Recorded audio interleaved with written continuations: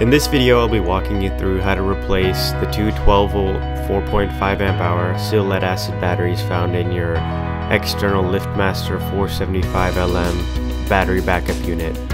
This unit will provide backup standby power to your garage door in case of a power outage. This video is brought to you by RaionGroup.com. Once you've removed the LiftMaster 475LM from your wall mounting position, you're going to see on the back that there are four screws holding on the rear back plate to the battery backup unit itself. Using a screwdriver, you'll want to remove these four screws and you're going to want to keep them aside as you're going to need these four screws to reassemble the unit after replacing the batteries.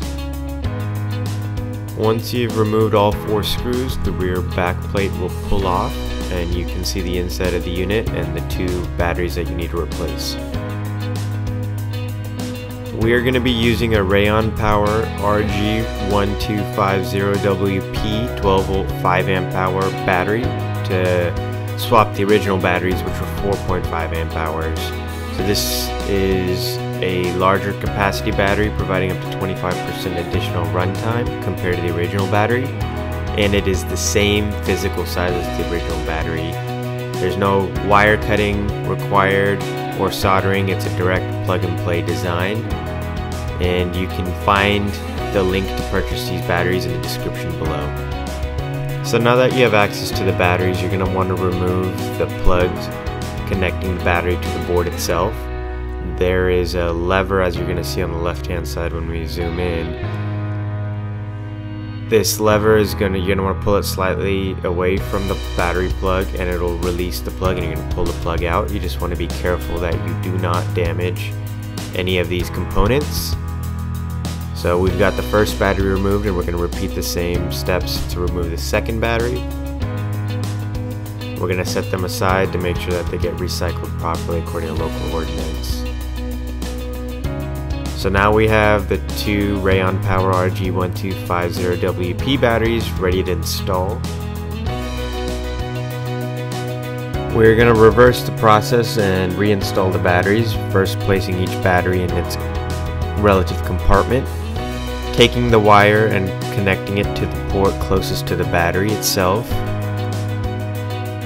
and then we're going to tuck the excess wiring into the battery backup unit casing itself. Now we're going to repeat it for the second battery.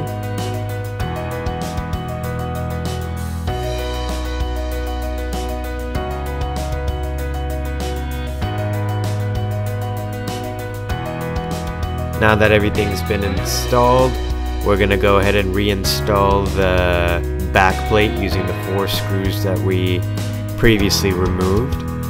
A quick tip before reinstalling this unit onto the wall is to actually connect it to your garage door opener and you'll see that the green light on the front will start to blink. This means that the battery has been installed correctly and that the batteries are charging. Once you have verified this you can go ahead and install it on the wall and leave it to charge overnight and once the batteries are fully charged the blinking green light will turn into a solid green light. Every ordinance has their specific way of disposing of these types of batteries. Make sure you check with yours. If you have any questions or would like for us to recycle your old batteries, you can mail them to the address below in the description box and we would be able to recycle them for you. If you like this video, make sure to go ahead and hit that like button and click subscribe so you can stay tuned for the latest videos.